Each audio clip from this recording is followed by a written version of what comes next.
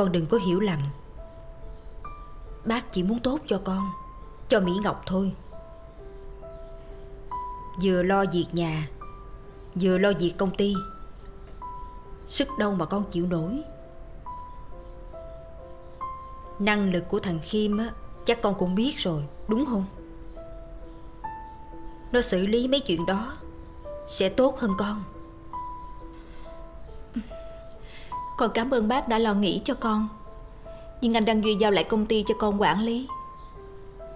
Như vậy cũng có nghĩa là tâm nguyện của ảnh Ảnh muốn con gánh vác việc này. Nhưng sức người có hạn. Còn đâu thể nào vừa lo việc công ty, Vừa quán xuyến tốt việc nhà. Rồi còn Mỹ Ngọc nữa? Không lẽ Con cứ dẫn nó mỗi ngày lẳng nhẳng theo con? Vì con đưa Mỹ Ngọc ra ngoài, Con thấy rất tốt cho em ấy. Có điều kiện tiếp xúc với môi trường bên ngoài, Tiếp xúc với nhiều người, Có khi sức khỏe của Mỹ Ngọc sẽ khá hơn rất nhiều mà. Còn về việc nhà thì bác đừng lo. Con đã đăng ký người giúp việc theo giờ rồi.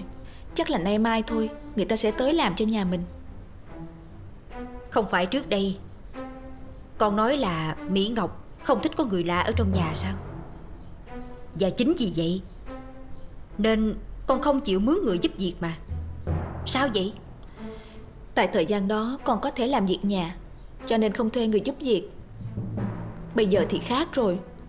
Với lại, Người ta làm theo giờ, Đâu có ăn ở tại nhà mình. Con nghĩ không sao đâu.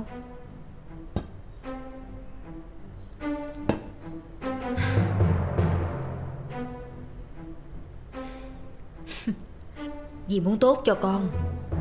Nên à, bác nhắc nhở vậy thôi. Con không nghe thì đành chịu.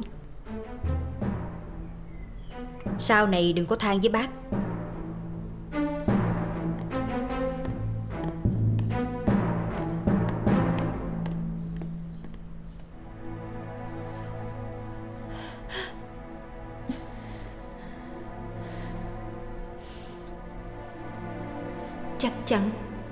Họ sẽ tìm cách đối phó với mình. Đừng sợ, Không phải sợ. Anh Đăng Duy nhất định sẽ che chở cho mình.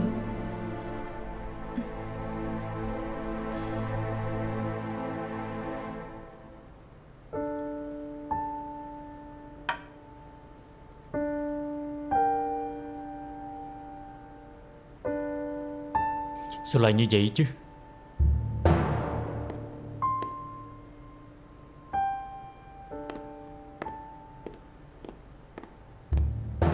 Anh hai. Anh có biết chuyện Mẹ kế của anh Đăng Duy Đã nhận lại con ruột của mình chưa?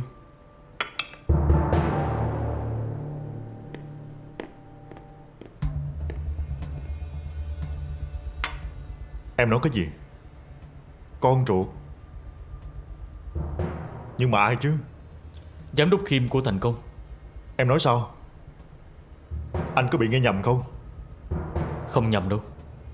Giám đốc Khiêm Chính là con ruột của mẹ kế anh Đăng Duy. Anh thấy lạ chưa? Nhưng mà em nghe ai nói? Là Mỹ Ngọc. Em lại đi tin lời con nhỏ không được bình thường à? Anh tự đi mà kiểm chứng. Còn bản thân em. Em tin đây là sự thật. Bản thân Mỹ Ngọc từ trước tới giờ Chưa bao giờ nói bậy đâu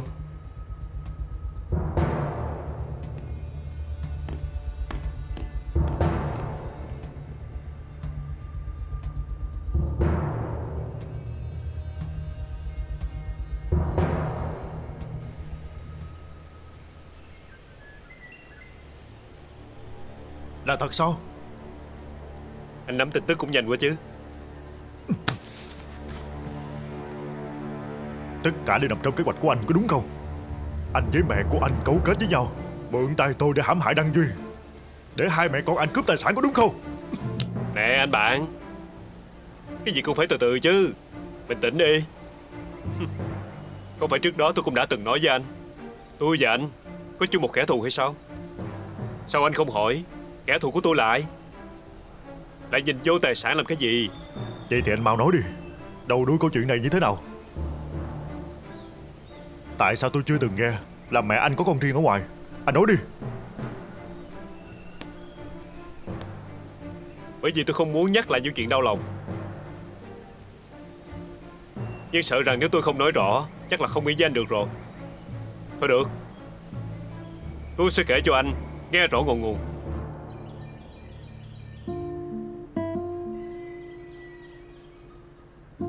Con nghe là mình Khó giữ được khoảng cách với thanh dân bác à? Tình cảm giữa con và cô ấy Chắc đã được ông trời sắp đặt hết rồi. Bây giờ con nhớ thanh dân Sống chung một nhà.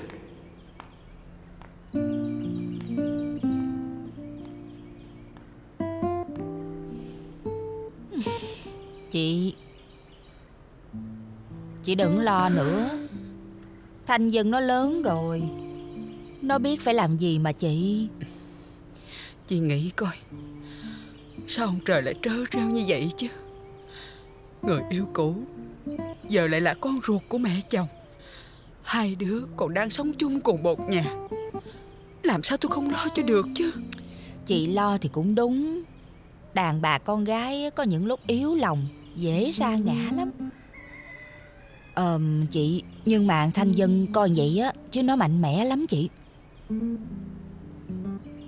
Chắc là bị ờ, thanh dân từ chối nè. Nên hả cậu khi mới về đây năn nỉ chị đó. Tôi thật không ngờ Con gái của mình lại rơi vào hoàn cảnh quái quăm như vậy. Đúng là sống ở trên đời này Mà nhất là đàn bà con gái á Không có dễ dàng gì. Xấu xí Không ai dòm ngó tới á Thì khổ đã đành.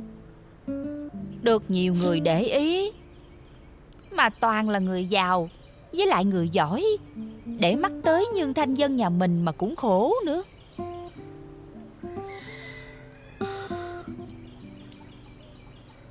Chị Bộ mấy bữa nay thanh dân nó không nói chuyện này cho chị biết sao? Không Chắc là nó sợ tôi lo.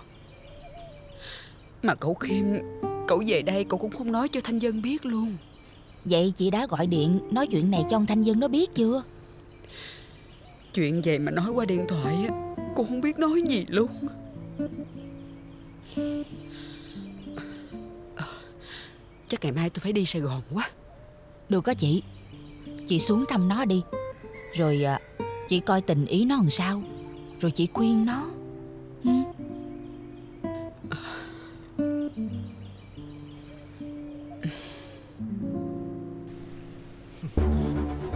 Thì ra Anh xem tôi như là một công cụ để trả thù. Anh lôi kéo tôi vào vụ này. Anh mượn tay tôi để giết Đăng Duy. Anh thực sự quá ác độc. Anh quá ác độc.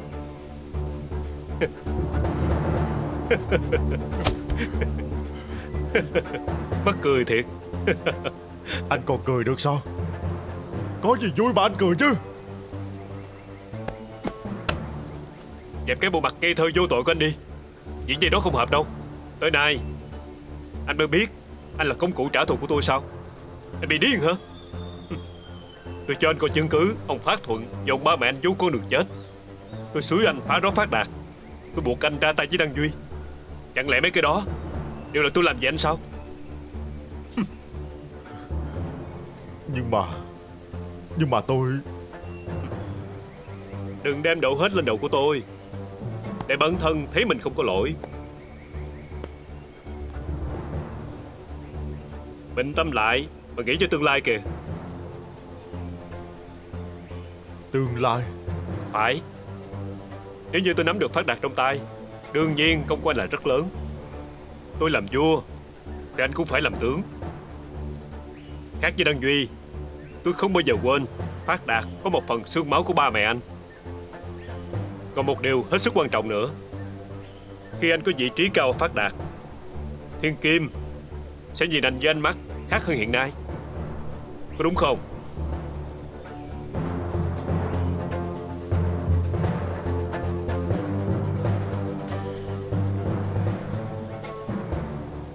Anh nói đúng. Tôi sẽ trả được thù của ba mẹ tôi. Tôi sẽ có được thiên kim. Ừ, anh hiểu ra vấn đề rồi đó.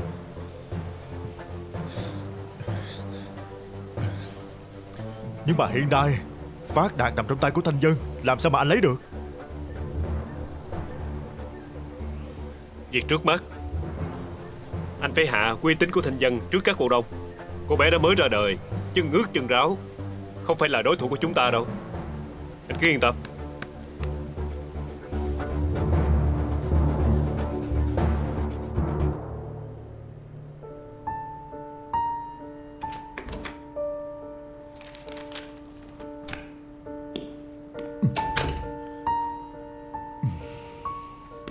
Anh mới đi đánh lộn về hả?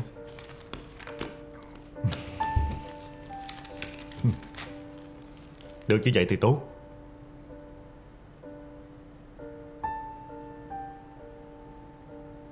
Cái chuyện mà em nói với anh Anh đi xác minh chưa?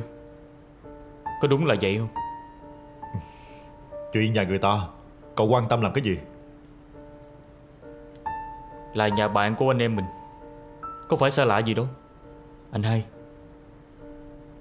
Anh có nghĩ Có khi nào cái chết của anh Đăng Duy Có liên quan tới họ không? Cậu ăn nói bậy bạ gì vậy? Cái gì mà liên quan? Anh thử nghĩ đi.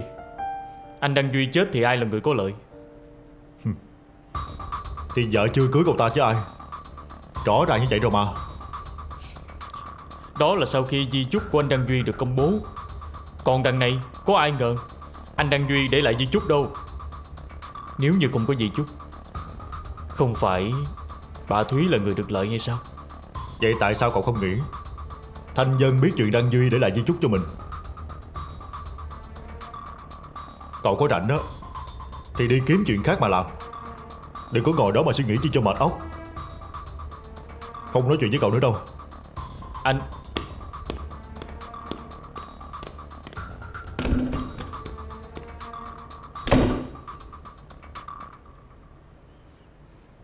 Như vậy, Vụ tai nạn nhằm sát hại anh Đăng Duy Không phải chỉ có một mình anh Tuấn Kiệt, Mà anh chỉ là con thúc thí của một nhóm nào đó thôi. Mẹ vô đây.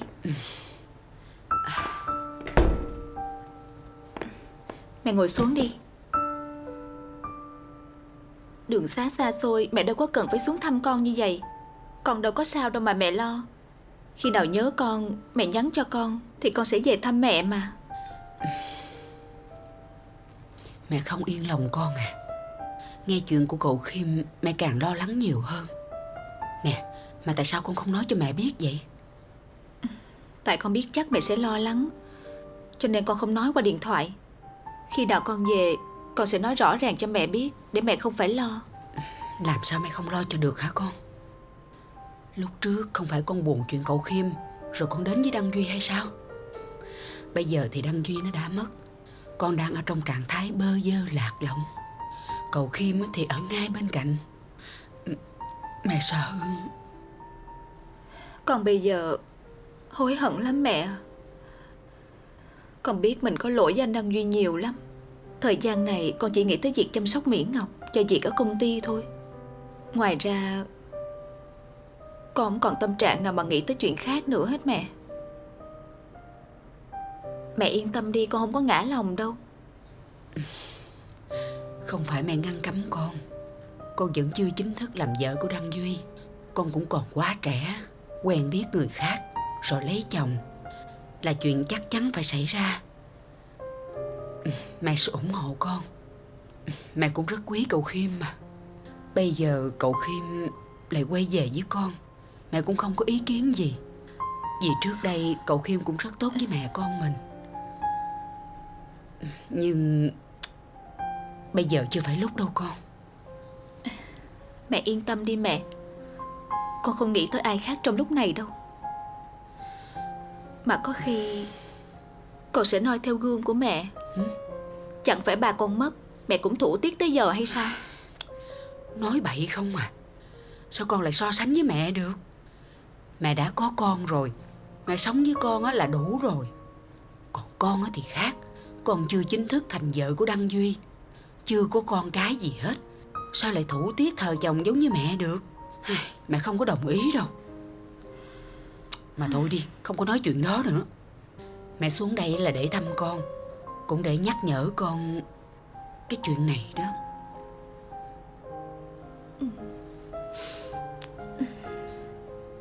Mẹ à Chỉ cần được ở bên cạnh mẹ là con thấy mình được tiếp thêm sức mạnh đó mẹ. Bao nhiêu lo âu sợ hãi cũng không còn nữa luôn. Có điều gì khiến con sợ hãi sao? Ờ... Không có gì đâu mẹ. Thực ra là con mới vô công ty Nên còn nhiều bỡ ngỡ quá. Từ từ rồi sẽ quen thôi mà mẹ. Mẹ tuy ăn học không nhiều nhưng mẹ cũng có thể đoán biết được Những khó khăn mà con phải đối mặt. Đột nhiên con làm chủ một khối tài sản lớn như vậy. Người ta sẽ không để yên cho con đâu.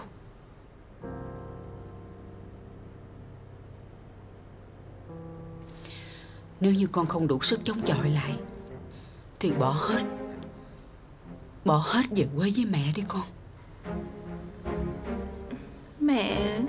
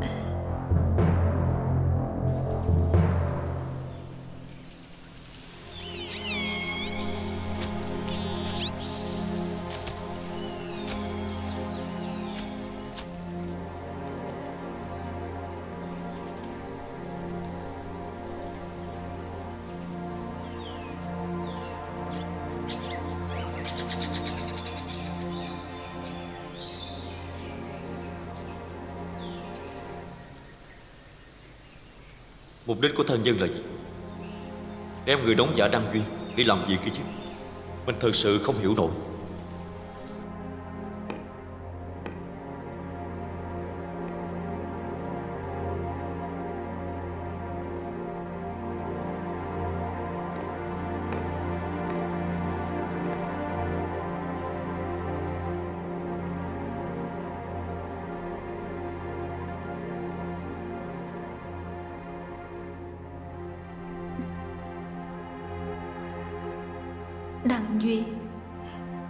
Em sẽ không để cho họ được toại nguyện.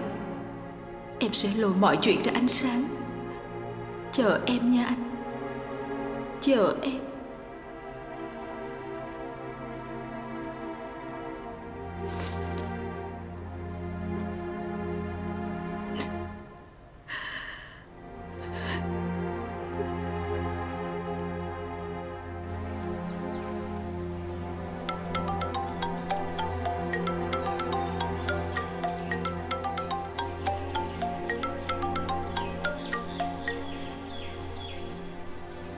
Alo tôi nghe đây. Chào anh, là tôi đây. Cô đã về đến nhà chưa? Tôi về lâu rồi. Trời ơi cô đi bận gì mà nhanh dữ vậy? Tôi đi máy bay. Ồ sướng ha. Ước gì tôi cũng được một lần đi máy bay. Rồi có lúc anh cũng sẽ được đi thôi. Miễn là anh phải lo làm tốt những gì mà tôi yêu cầu. Anh nhớ thực hành những gì mà tôi căn dặn thường xuyên nha. Tôi đã nhuần nhuyễn lắm rồi Cô không cần phải lo gì hết. Mà cô định khi nào thì mới cho tôi về Sài Gòn đây? Chưa tới lúc thích hợp. Khi nào cần Tôi sẽ báo cho anh biết. Xin lỗi nha Đã gọi làm phiền anh. Có gì đâu. Tôi biết là tại vì tôi giống ông Đăng Duy. Cho nên cô muốn nói chuyện với tôi. Có đúng vậy không? Anh bớt nhảm đi Chào anh nha.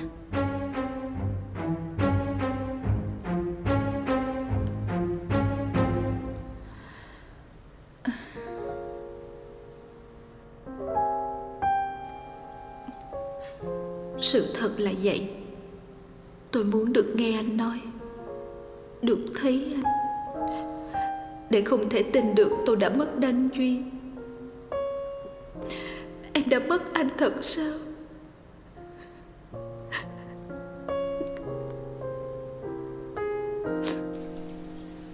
Đáng lẽ mình phải ghét cô ta, Phải căm hận cô ta. Nhưng tại sao Mình lại mong ngóng cô ta thế vậy chứ? Thanh Dân à Ẩn số của em là gì vậy? Có phải em đang muốn dùng anh Để loại bỏ hết tất cả đối thủ, Đang muốn tranh đoạt tài sản? Có phải em đang muốn nắm giữ cho riêng mình Tất cả hay không? Vậy thì vai trò của anh là gì đấy? Lòng tham và sự ngu xuẩn của con người là vô hạn. Có phải cái chết của mẹ anh Cũng là kết quả của lòng tham hay không?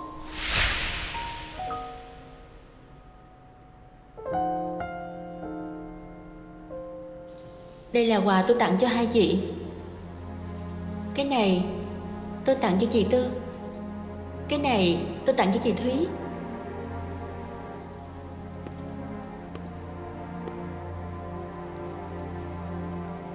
Cảm ơn mợ. Chiếc vòng tay màu đỏ. Lúc mà mẹ mất, Dì Tư và mẹ Thúy, Không ai có mặt ở đó. Rất có thể một trong hai người đó Đã lén lút ra tay. Nhưng người đó là ai chứ? Dì Tư thì không có động cơ.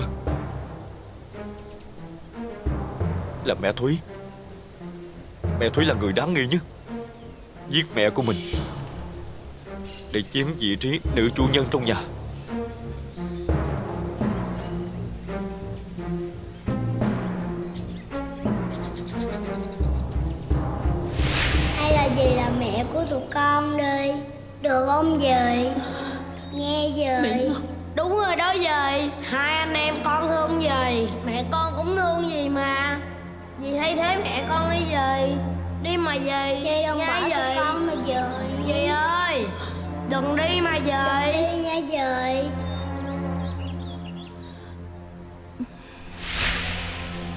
Rõ ràng năm đó. Mẹ Thúy không hề muốn làm vợ của ba mình.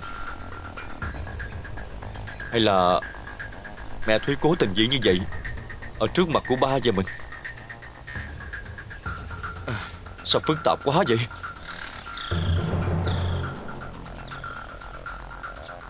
Cái chết của ba mình Của Khanh Băng Những rắc rối trong công ty. Và sự cố lần này của mình nữa Là ai làm chứ? Người đó có liên quan gì tới mẹ Thúy? Mối quan hệ giữa Thanh Dân và những người đó là gì? Ba mẹ Dì Tư Khánh Băng Mọi người giúp con với. Cho con câu trả lời với. Sao mọi chuyện xảy ra đối với con? Cứ như là một trò đùa ác độc vậy. Tại sao vậy?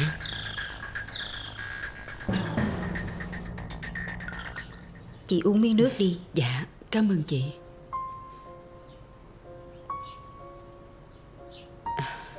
Biết cháu Khiêm là con ruột của chị, Tôi mừng quá. Đúng là trời cao có mắt. Cuối cùng, mẹ con chị cũng đoàn tụ với nhau. Phải đó. Tôi đâu có ngờ, Gần cuối đời, Còn gặp lại đứa con ruột thịt của mình. Chắc là Đăng Duy nó thương tôi, Thương những phụ nữ yếu đuối trong ngôi nhà này. Mới dung rủ cho tôi với thằng Khiêm nhận ra nhau.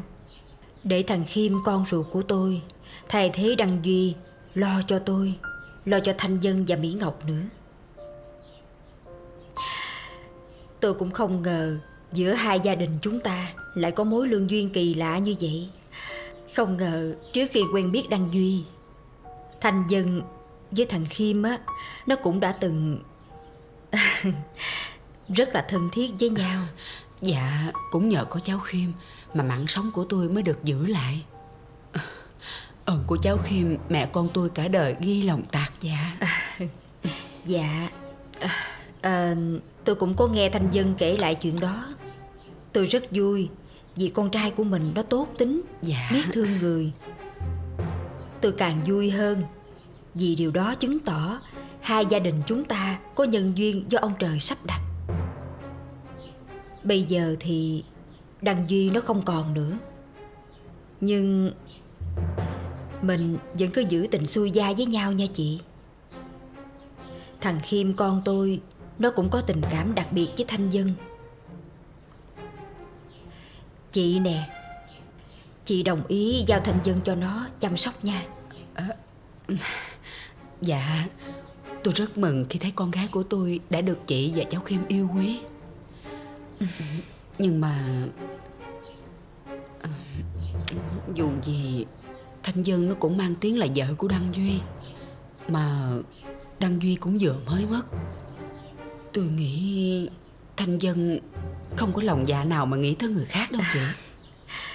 Thời buổi này rồi, Đâu có cần thủ tiết thời chồng, Mà Thanh Dân nó cũng chưa chính thức là vợ của Đăng Duy.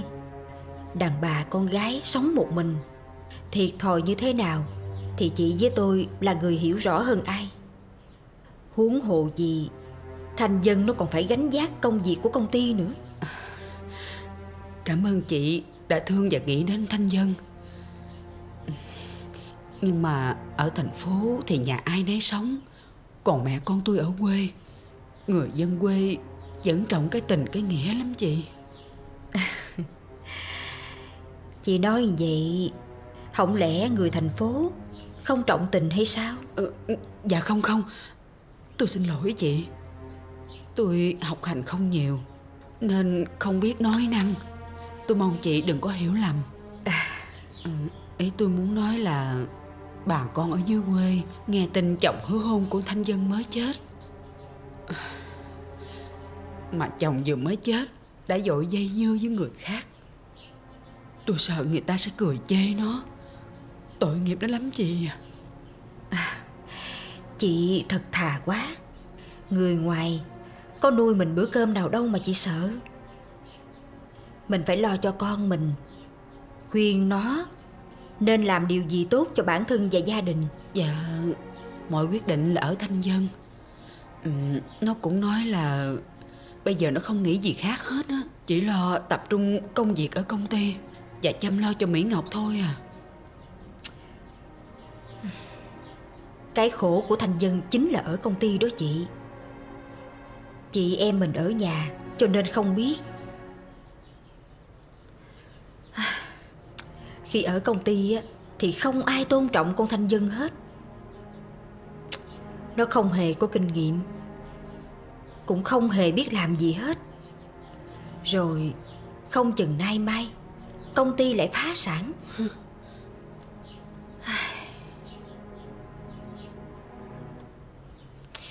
Thôi Chuyện tình cảm của hai đứa nhỏ Thì cứ theo ý của chị. Rồi từ từ mình bàn tới cũng được. Trước mắt Chị nên khuyên Thanh Dân Giao việc công ty Cho thằng Khiêm đó làm giùm. Nó chỉ cần ngồi rung đùi ở nhà Thì tiền vẫn vô túi đều đều. Tội tình gì mỗi ngày vô trong đó Rồi để cho người ta cười chê. Ừ, Dạ. Chuyện ở công ty tôi đâu có biết gì. Nhưng ờ, chị đã có lòng thì tôi sẽ nhắc nhở Thanh Dân Ờ thì ờ, từ hồi nào tới giờ Tôi thương Thanh Dân như là con gái vậy? Dạ. Tôi xót cho nó Cho nên mới đề nghị vậy thôi. Dạ Tôi cảm ơn chị. À, à thôi Chị uống nước đi. Dạ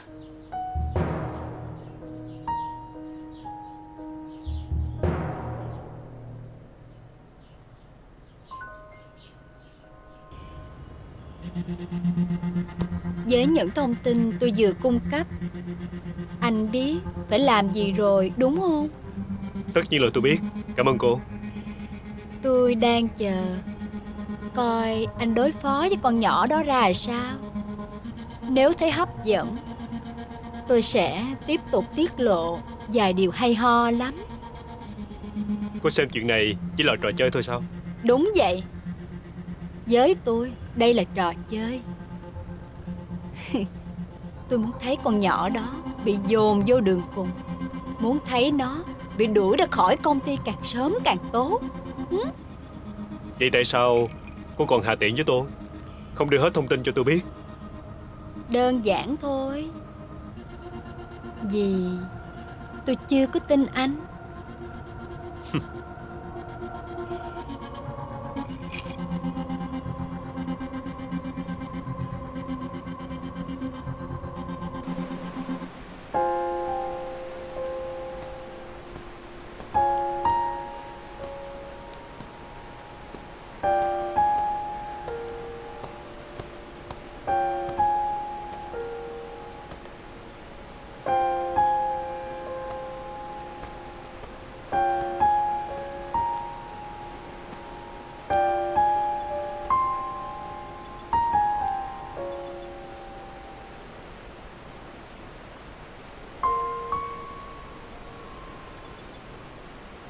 Đăng Duy ơi. Em biết người đàn ông đó không phải là anh. Nhưng sao em vẫn cứ muốn tới chỗ này? Muốn nhìn thấy người đó. Để tưởng tượng là anh đang ở trước mặt em. Đăng Duy ơi.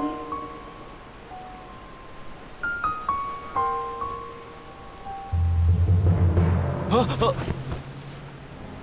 Thanh Dân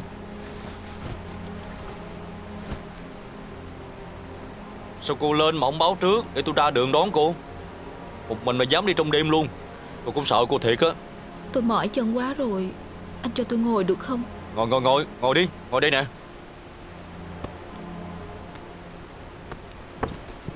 Ủa?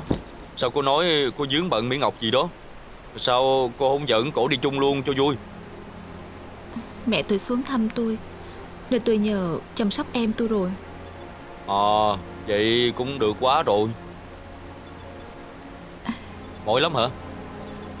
Cô có cần ờ, tôi massage gì không? Nè Tôi massage bấm quyệt hơi bị siêu đó. Không cần đâu. Vậy thì thôi. Cô có đói không? Tôi nấu mì cho cô ăn. Ừ, Anh để tôi nấu cho. Cô đi đường xa mệt lắm rồi. Cứ ngồi đây nghỉ ngơi đi. Tôi nấu chút xíu là xong mà. Không cho làm thì thôi. Nghỉ khỏe cứ ngồi đó đi. Mọi việc để tôi lo cho.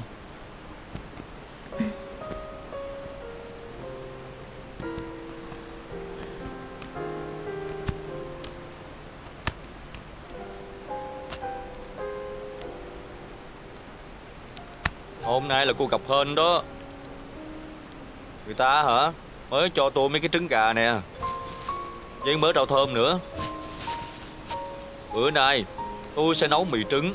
Với trao thơm cho cô ăn. Ừ còn có cacao nữa. Tôi sẽ khuấy cacao cho cô uống.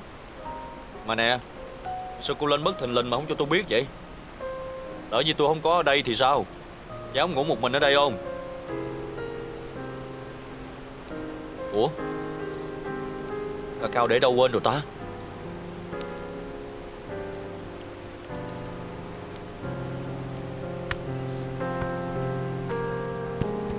Để chỗ nào ta?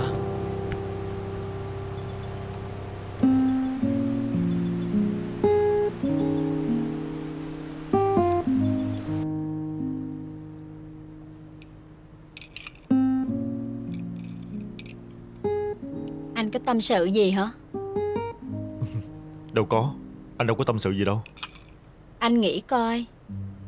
Một vị chủ tịch bù nhìn như cô ta Sẽ tồn tại ở phát đạt được bao lâu Anh nghĩ là Sẽ không bao lâu đâu. Tôi đang háo hức. Chờ mong cái ngày cô ta rời khỏi phát đạt. Trong nhục nhã. Ê chề. Ngày đó tôi sẽ hãi dạ biết mấy. Đăng Duy đã mất rồi. Em còn không buông tha cho cô ấy. Em hận cô ấy tới vậy sao? Cả đời này Tôi sẽ không bao giờ tha thứ cho nó. Nó chính là sao chổi xui xẻo Từ ngày nó bước vào cuộc đời của anh Đăng Duy. Chỉ mang tới toàn xui xẻo cho ảnh mà thôi. Nếu không có nó Anh Đăng Duy đã không bỏ mạng. Tôi tin chắc điều đó.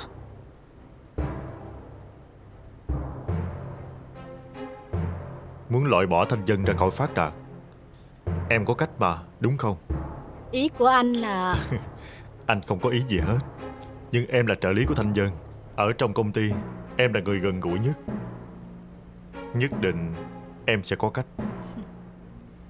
Nó sẽ tin tưởng tôi. Không vì tư thù mà làm hại tới công ty. Anh nói coi Sao nó có thể ngu như vậy chứ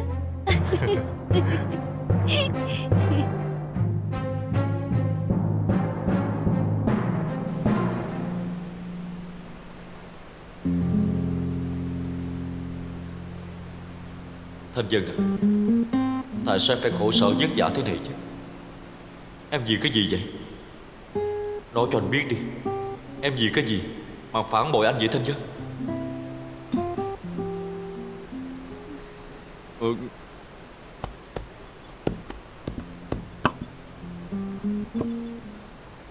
Anh làm gì vậy? Ờ Lấy súng. Anh nói với tôi là anh nấu mì mà Ờ Lấy súng Lao súng.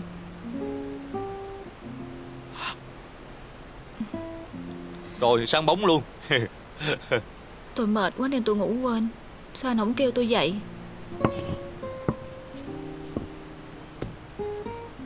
Hiếm khi ngắm được uh, người đẹp ngủ trong rừng. Tôi ngu gì gọi cô dậy Lúc nào anh cũng cà rỡn vậy hết. Làm sao mà tôi yên tâm Để anh đóng giả anh Đăng Duy bây giờ Tôi nói rồi Bỏ cái tật cà rỡn nó đi. Kêu sửa hoài mà không chịu sửa Nè Tôi hỏi thiệt cô nha. Giữa một Đăng Duy lạnh lùng cao có khó ưa Với một Đăng Duy vui vẻ, hài hước, dễ thương giống như tôi Cô sẽ chọn ai? Anh không được so sánh với anh Đăng Duy của tôi. Tôi chỉ nhờ anh đóng giả anh Đăng Duy thôi. Đừng có tưởng thật đó Thấy chưa? Chính cô đã khẳng định rồi còn cái gì? Tôi là tôi. Đăng Duy của cô là Đăng Duy của cô.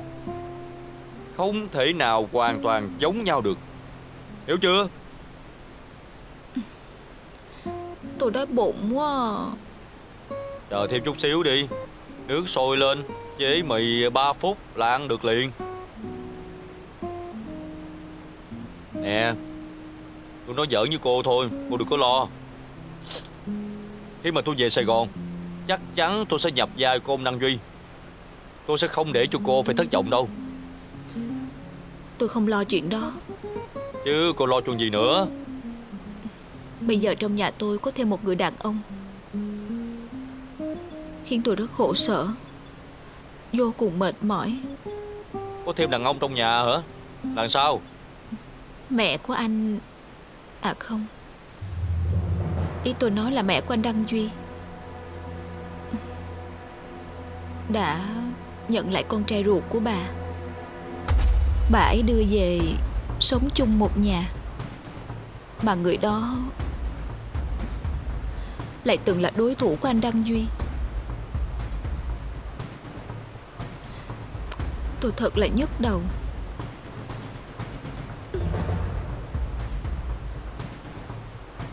Nước sôi rồi. Cô đợi tôi chút nha.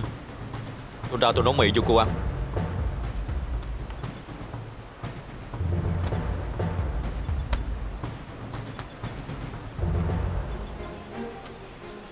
Tên Khiêm này là con ruột của mẹ Thúy sao? Là sự trùng hợp Hay là đã có mưu đồ từ trước? Cái gì? Còn kêu mẹ bán khách sạn sao? Dạ một khi giá cổ phiếu của Phát Đạt hạ xuống, Chúng ta sẽ thu mua vào. Số tiền ở bán khách sạn của mẹ, Cộng với số tiền của dành dụm, Rồi con sẽ vay thêm một số nữa. Mình sẽ thu gom cổ phiếu của Phát Đạt Càng nhiều càng tốt. Mấy chuyện làm ăn thì mẹ không rành. Con tính sao thì mẹ biết vậy. Con cần tiền Thì mẹ sẵn sàng bán khách sạn đó để đưa cho con. Nhưng mà Con phải tính toán cho thật cẩn thận. Mẹ cứ yên tâm đi. Chuyện này con và chú Thành Đã bằng bạc kế hoạch kỹ lưỡng lắm. Thôi được rồi. Mẹ sẽ bán cái khách sạn. Nhưng mà Khiêm nè. Dạ. Mẹ thấy Nếu như mà con khiến cho Thành Dân yêu thương con như trước Thì mọi chuyện sẽ đơn giản hơn nhiều. Nhưng bây giờ Thanh Dân không phải là cô gái đơn giản như trước nữa. Con đang cố Đem cái ơn cứu mạng của hai mẹ con cô ta ra, Để nhằm lung lạc cô ấy. Nhưng không chắc Là có được kết quả như mong muốn hay không.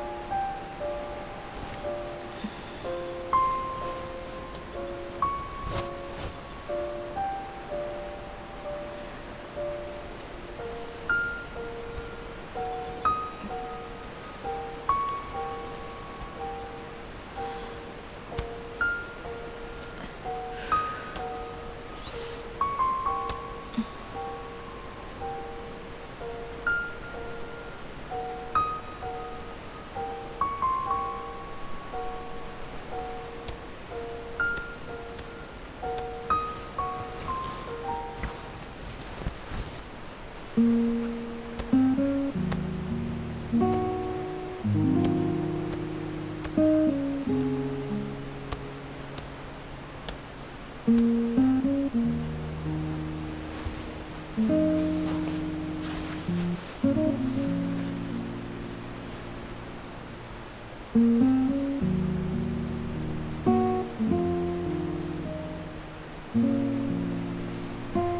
lại có hai người xa lạ, Lại giống nhau đến như vậy? Có khi nào Anh Minh Quang với anh Đăng Duy Giống như trường hợp của chị Khánh Băng. Mình chưa từng nghe anh Đăng Duy nói có anh em sinh đôi. Nhưng sao lại giống đến mức này?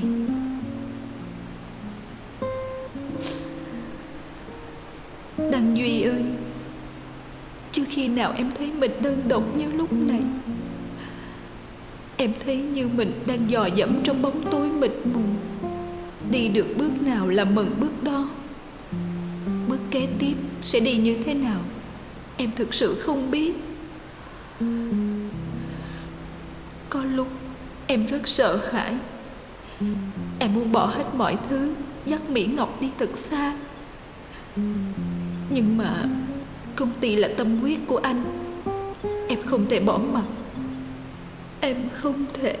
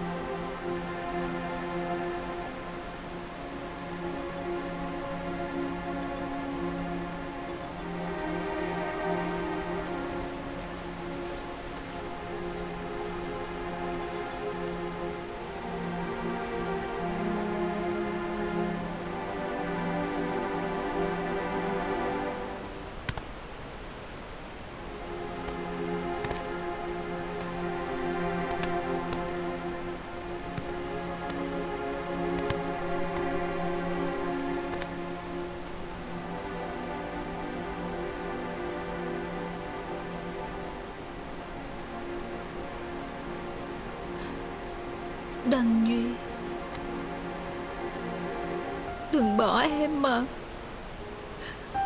Em biết. Em có tội với anh. Anh đừng bỏ em. Em xin anh. Mỹ Ngọc cũng nhớ anh nhiều lắm.